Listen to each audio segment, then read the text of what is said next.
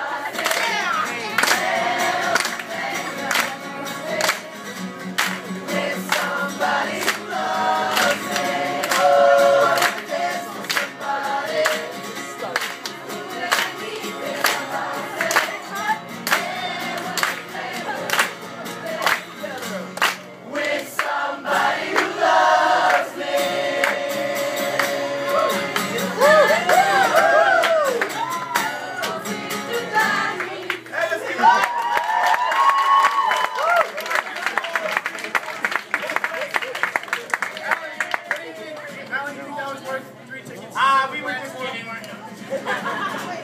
I think that was. Put you guys on the guest list? Yay!